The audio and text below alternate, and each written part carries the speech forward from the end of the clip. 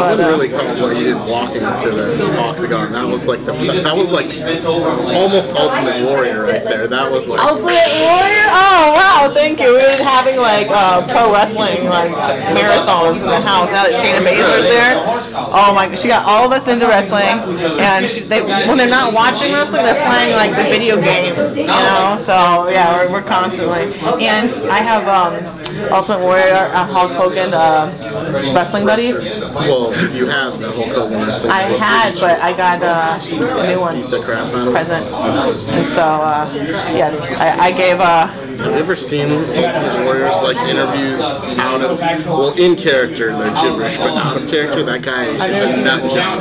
character. Crazy, crazy. Is, Yeah. He's batshit nuts.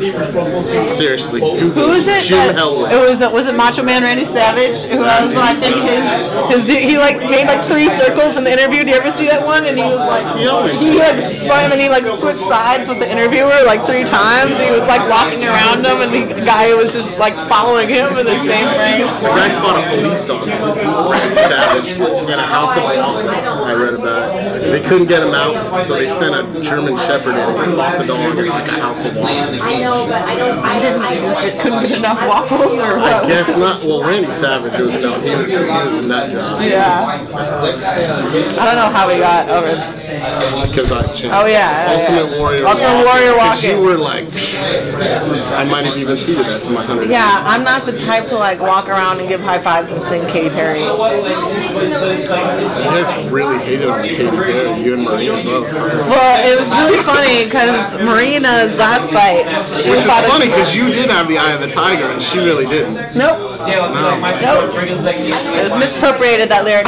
Um, but uh, what's it called? Yeah. So Marina, the chick that she fought last, came out to Katy Perry that same song, and she was telling me later. She was like, "Man, I was waiting to walk out, and I just heard that shit come on, and I was like, there's no way I'm losing some bitch came out to Katy Perry. You can't come out to Katy Perry." Like she was. So I'm in the back. I'm trying to be all serious, and, da, da, da, and when her walkout song came on, the one thing that came to my mind is somewhere in the universe, Marina Shafir is staring at television, being like, "Fuck that shit! You can't look at Katy Perry."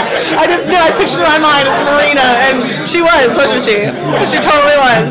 And She that- wasn't in the arena. no, no. So that everybody had their own little little viewing party, but um, yeah, she lost her mind, and then yeah, those are things that were like trying to pull my attention away from the fact that I'm like in the most important moment of my whole life is you know Katy Perry in shorts and like all these kind of random things. Like, it was funny. I was talking to Shane the other day, and she was talking about one of her fights, and uh, when once she was the most relaxed, and she was about to fight, and uh, she looked across and noticed someone's shirt in the audience, and she started thinking, I'm like, is there something wrong with me that I'm noticing things? Am I too relaxed? Am I not in the moment? I'm looking at this person's shirt. Like, there's so many things pulling your mind away that it's like it's, it's funny what the what's fighting for your attention when you're trying to stay focused. You know what I mean? I always thought that was the coolest thing about athletics because it's one of the few times you're completely in that freaking moment when you're competing. It's pretty badass. Because Just curious, when uh, when Showtime mixed um, that exploited song was, was uh, Bad Reputation like your second choice, and did you have like a list of songs or? Well, I, I was kind of at a loss at the moment because that they, they like just swung it on me Yeah, yeah. right before my fight. And um, actually, Rage Against the Machine just did that Rise Against concert. Like they just got Right. together for that one concert, and I went to it like you know right before that fight. And so I was like, all right, fine, I'll, I'll come out to like a Rage song or whatever. You know, I just threw some stuff out there, and you know, I love me some Rage Against Machine, but I just didn't feel like it was my song. Wasn't your jam. It wasn't my yeah, yeah, it was my jam. It was my jam. And that is italics. Uh, if you're trying to write that, that part was italics. Um, but uh, It would have been. exactly. My But jam. It wasn't my jam. yeah, you tilt it. Those words were tilted. And then um, yeah, it was. It came to me like one day. I was like, what about bad reputation? And like jumped at blah blah blah. And then um, it was for the first Misha fight. It was the first time I used bad reputation. And then it stuck. And it was so appropriate because we were, you know, starting the whole like feud thing, and you know, I was bad shit because I usually am, and um, So I was like, oh man, it's perfect. But it wasn't until this last fight, because this is like the third fight that came out the song. Dana was saying it. It was like it was never more appropriate than this fight, and everyone lost their minds because that was the song. You know, and it's gonna be like it's gonna be on my song the, the day I retire. Just like you know, California Love is for for Urijah. You know, everyone has like their set songs. That's, that's the song. It's my jam. I talked to Randy Couture once, and I asked him how, because he always went with classic rock, and he said once the guy paid him to act, to be able to choose what song to come out with. Yeah, just like holy shit. But hey, you find wacky ass rich people. It's cool. No, I thought it was coolest in Anaheim because you know how they have those screens like in between the seats, and just when your song came on, just the lights they do. I think that's the coolest place for the entrances. See, that's the one thing I really miss is being able to watch fights in the crowd. Because you don't like feel the energy of the place like in the Yeah, front. it's nothing like when you are there live and then you watch it on TV. Like it wasn't. You can feel as loud as it was for your fight. Like you watch it on TV, it doesn't seem like. Yeah. I mean, you could actually hear you on TV talking. Yeah. We couldn't, and we were like you know 20 feet away from you talking, and we couldn't hear shit. Like, I couldn't hear myself see your talk. I, did, I couldn't hear myself talking. I had to like make sure to put a coherent thought together when all I could hear was everyone booing, and I'm just like, get this out, get this out right.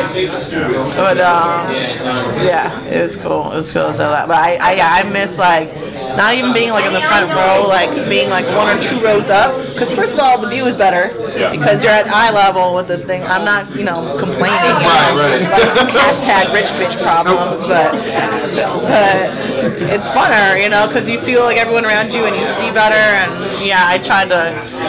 Um, it's like I think I was like with my mom. It was like her first fight that my mom went to was when Manny fought um, the other judo Not guy. Cole Miller, uh, Michihiro Omigawa. Omigawa, yeah. And then um, I wanted to go to the back to go to the bathroom, and the security guy was like, "Yeah, can't let you get?" And then I was like, "Oh shit!" And so I was like, "Mom, we're just gonna run. Okay, we're gonna go upstairs to, and, and go out there." So we just, I was like sprinting. I was pretty much like pulling my mom, and uh, we we tried to get back in time to watch news. Machito was fighting somebody. Uh, Baker. And uh, yeah, we were trying to get back in time, and it was just like Red Rover. Everyone just stood in front of us. It's like, no, it's even more. And um, yeah, we, we like ended up sitting down in one of those like favorite spots. It was like, you know, couldn't, the security guard wouldn't let us in yet. So um, we just kind of So sat you down. basically in like auxiliary, the auxiliary section where they put media and guests. I think that's where you were, right? that's where you gave the high five man. Yeah, yeah, but this was after that. So, and like the security guard wouldn't let me use the bathroom down there, so I had to go up down, through the bleachers and down, which is like production. And um, yeah, I, like we couldn't even watch the fight because I mean, everyone's super cool, everyone's super nice, but it's like we, we can't even like interrupt on like just sit there and watch it. So, um, but my mom was cool. She was. Uh, it was the first time like she came to meet with me to an event, so she never really like saw me get like mom. She always kind of like talked about like yeah, whatever, yeah, whatever, whatever, whatever. I was like, no, mom, this is like it's like a big deal now. It's like serious. She's like, uh huh, uh huh. Your mom's like she has to like see it and experience it for herself. She's the most hard to impress person ever. So I bought her this thing. We literally have people like like chasing us, like it's 28 days later, like sprinting, you know. And then um, I turned my mom and was like, yo, so was it like, you know, more than you thought it'd be? And she's like, no, I, I already knew, I already knew everything. I was just like, she's just not impressed at all, at all nothing, nothing at all. What, what would I? We we like just finished this last fight, and we were already like at dinner that night, and my mom's sitting there next to me. She's like, "So with this next girl, you're gonna have to be doing da, da, da, da." like she's already giving like grilling me what to do." And I'm like, "Yes, mom. Yes, mom. Yes." It's just just the way that she is. She just moves along immediately, you know. But um, yeah, she, she's awesome though. Like if she wasn't so hard to impress, I don't think I would have worked as hard as I did to try and impress her. Yeah, yeah. You know. So yeah, she's not the type to like sing your praises praises if you know you cooked a batch of cookies. She might actually sing my praises if I cooked a batch of cookies, just because if, if no one died in the process. I can't. Like, what, what do you think of my cooking? Like, When have you cooked? Ever, never. I haven't cooked a single thing for my whole Life. I was like, I was like camp, but I was like for that too. Oh, All you ever told me about was top ramen, and that's not really cooking. So Yeah. How are you? Thank you so much. Cancel all of of like scheduled before the fight came on? it. Yeah, no, yeah, but you know, it's whatever. Sure. I'll, I'll rest when I'm dead. I got too much to do. Um, maybe after this next fight, I, I, I always have this list like that just grows. It's just like, well, after the fight, I'll you know dot dot dot, and the thing just grows, and I never get through anything. It's like I'm gonna do this, I'm gonna run and jump and climb a tree and do all these other things, and then it just ends up I just, just sat on my couch. that was my whole break. I sat on the couch. I uh, what else did we do? Watched Entourage. We watched Entourage, and the um, last season sucked, right? We're only on two. we were only on two. We got through. Yeah, we always got through. We got through all the Big Bang theories. Well, we could just watch TBS for that. That's all. That's a ton of episodes. That's a lot. Not in your Yeah, we, we want. That was almost our whole camp was Big Bang Theory, and then we ran out, and then we're like, oh, we need a different show. But if you're training and fighting people all day, you don't want something like intense. You know, everyone's like, let's watch Breaking Bad. And I'm like, I don't want to go to bed stressed out. Okay, I don't want to think about problems with crack all night. You know, like I'm sorry, I can't. So we try to think of something uplifting, and Entourage was the best we could do. How's your Game of Thrones reading coming along? It's not going well. Falling behind, huh? I, it's not going well, and every single time someone wants to play like a South Park episode that makes fun of Game of Thrones, I'm like, no, because it lets me know worried things about the it's story. spoiler, yeah. yeah. it's spoiler. Like I saw part of it, and it already spoiled some of it. They actually give it. It's like, uh, yeah, I gotta get on that. So you're still in the first book, right? I'll just kind of wait. I know. They take a while. You gotta get it. I know. Going. I know. I gotta keep trucking. Put it on no a one lets me. Checklist, like a chapter a day. Yeah. No one Although lets some me of them are kind of long though, like 25, 30 page chapters. It's tough. Yeah. Hang in there. Alright, I'll, I'll get on that. No, I'm like, I had like a big reading phase when I was in Bulgaria. I, I burned through a bunch of books. And then I got home and just there's so much to do that it's good at the end of the day. It's like, I saw like brain junk food. Just to get downtime, like you said. You gotta do something, you gotta read. Yeah. Or like, I'll have a couple days they don't need me and I'll just have nothing to do.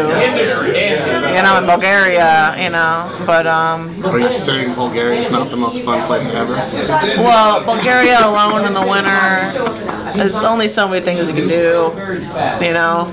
But a lot of my free time was I'd just call my driver, be like, "Hey, you want to go to Starbucks and then drop drop me off in the mountains?" Fight? when is it? He keeps getting like it keeps getting canceled and Reno. Yeah. It's in New York. Oh, I'm not gonna be able to go. It was supposed to be that he was gonna be fighting a week ahead of me at the MGM, and then it got moved, and then it got canceled. And sorry, I gotta shut this phone off. Where is it? I don't know. Sorry. Um, yeah, Victor. So it's in New York against who? Uh, Colossus, uh, former champion. to Alan, Alan Sanchez, right? Alan Sanchez, just fought Claus on Yeah, you did. You did.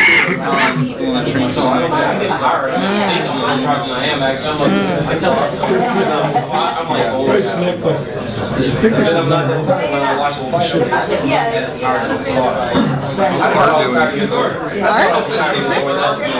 Very slick, but Victor's a It's good to me. Everyone's looking good. It's, um, I just don't know everybody's dates, I was gonna say with John. which I feel terrible about. I just wait for George to tell me.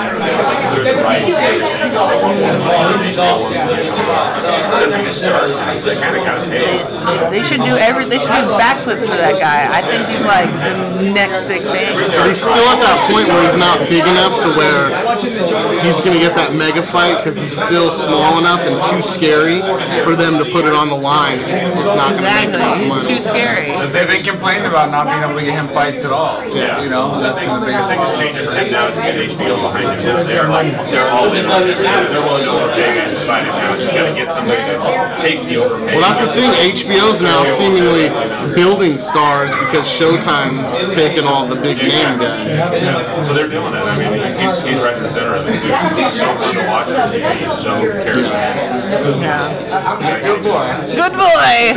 Oh, I love him. G, G, G, G. Yeah. Oh my God. What were we saying the other day? It's like I love him. He's not just a G. He's a triple G. He loves you. I just interviewed him the other day, and he, he watched her fight. He's actually, he says Ronda's uh, his favorite MMA fighter. Yeah. So yeah, and then Cain Velasquez after that. I just talked about So he better be because we're showing up at his gym. Yeah, I know. So yeah, Big Bear. See you in Big Bear. You know what, man? Why Big Bear? Uh, Clark, the boxer. Well, Very, very fast. And- I'm doing two camps back to back, and uh, for the Carmouche camp, we went to Big Bear to kind of um, just give that feeling of starting camp because it's really hard to just sit on your couch and just be like, okay, camp's now. You you have to mentally switch yourself over, and so um, I wanted to do it for this last camp, but I just got back from filming uh, Fast and Furious, literally on the six week mark, and so um, I just spent all this time traveling. And I just told everyone, like, look, I don't want to go. I don't want to leave home again. You know, it's just I'm already home and starting camp. I don't need to do anything to remind myself I'm starting camp because you know I'm home. I'm here. Let's just do it. And um, now doing two camps back to back, it's kind of difficult to get. You know, just had a fight. You get out of the out of like ugh, sit on the couch mode and you know eat the three hundred dollars of alien jerky that I got on the way to Ve- Vegas. It's expensive stuff. I know, especially because I only eat like the buffalo jerky, which is I think You don't go ostrich? I never found an ostrich. Do they have it there? They have it at Alien Little Rock? Are you talking about Little Rock, the little place? I'm talking about Alien Jerky in Baker. Oh, okay. Place the best. I was talking about there's a place in like Little Rock that everybody stops at. I forget, but they have like all kinds of jerky everywhere. Little Rock. Arkansas? No, it's off. It's I don't know uh. why pointed up. It's like that way. Which way are you Up in Arkansas. Well, unfortunately, I always drive. Did you do this? 'Cause Did you think of that? And I was like, no, I knew that it was an entirely genuine and not fake moment, and it was entirely the right thing to do because I didn't think about it. It was immediate. It was just like, nope. And I'm like, if my first impression is that, then even if I took the time to think about it and change my mind, I think it would have been the wrong decision. Because if that's my first inclination, then it's, it's like that for a reason. And um, another book, Blink by Malcolm Gladwell, covers a lot of uh, your first impressions. It's another one of my favorites. So, yeah, um, I would be so tired I, I don't regret it at all. I, I stood my ground in a very difficult situation where I would be and was extremely criticized for doing so. But um, yeah, if, if you've done um, things that go beyond your career and it becomes personal, then I just and I really think that if me and her fought alone in our gym and there weren't people there watching, she wouldn't have offered a hand to me. It was her actions were entirely influenced by being watched, and my actions were all despite being watched. Nobody had a key. That's the best way They were like 10 bucks. Don't listen to me. You can run the show. If anything goes wrong, like it's my fault. I did it. What am I grounded? No, you guys gonna ground me? Hey, the camera thing you threw me under the bus. I know you threw me under the bus. What? Oh, you're like, oh, Grant brought it up to my attention. That's why we got it. So it's all right. I wasn't throwing you under the bus. I'll ask for it I don't care. I'll just being honest, man. I need some more coffee. Right? Boy, you didn't have any. They bring it. I had a little bit before uh, actually I walked in here. Uh, expressamente. You guys are big on your coffee, aren't you? You know, this last camp, I know Marina is. yeah, Dolce She's got me still really into working green tea. Yeah, Groundworks. She's like, yeah, I work with a lot of stoners. I'm like, really? She's like, yeah, it's a coffee shop. I'm like, all right. How it works is where it's at, man. You will literally have like an A-list celebrity and a crackhead be right next to each other in line. You'll just deal with them. I, I went and sat with her. Isn't that really the epitome of Venice? That's what it's all about, right? That's what it's all about. It's an economical melting pot. But I think uh, New York's like that too. Like right here is like really some nice building, and then you know three three houses or three blocks later is some shitty neighborhood. It's- I'm just glad they got the security cameras now. Ronda's got like a, a nice security camera set up outside of her house because there's some weirdos that wander the alleys in Venice. and we got an attack dog. Yeah. Yeah. Mochi's like bite sleeve trained, and it's like it's crazy. She'll hear something going on like in the front door, like she'll like look out, and, and then she'll go out the back, check the back, run the perimeter of the house, and then come back in when everything's cool. Like like she's totally impressed with herself too. She's like, oh my god, it's all good, it's all good. Like she'll see her like what? And she checks the front, goes around the back, runs the perimeter, and comes back in. It's like don't worry guys, don't worry. Like she's all wagging, happy. I did my job. Yeah. She's a 90 pound Dogo Argentino, which is a all white mastiff. They're like bred to like hunt boar, and hunt boar and puma. Like, yeah. They, they actually took um, like fighting dogs and then bred them with all these different hunting breeds to get like the dog a dog aggressiveness out of them so they can hunt in packs, these big game dogs. And so they put like these Kevlar vests on them, send out a whole bunch of them, and then they just go take out like pigs because um, like, there's a lot of like boar crop problems, like like Hawaii, Texas. I think there's a lot of, a problems there. Yeah, so they just take like little uh, packs, these dogs, set them loose, and they um, just they go out, they find the pigs, they like, them down, and um, I guess the traditional or like Argentine way to do it is like the dogs hold them and the, the hunter cuts it with a knife, and then yeah, that's it. She did her research. National Geographic actually did a really good special on uh, on dogos because it's like a 200 year old breed and they're calling it like the evolution of like you know dog breeds. It's very few genetic problems because they're so new. Yeah, they're really hard to get in North America though. Me? No, no, the dogs. The dogs? Don't they have a little craziness to No. She doesn't have any crazy. No, because they specifically like bred the aggressiveness out. So, because you can't have fighting dogs hunting together in a pack. They'll fight each other over whatever it is. So they had to. They, uh, they specifically bred them to make them like nicer. But you did break up a fight with her. I And did. paid for it. I did, but it was the other Had dog that got naked. I know. dog bite, other dog naked. This is the, the this isn't Dora the Explorer. You don't have to break it down into three steps, okay? There's other things that happen in the middle.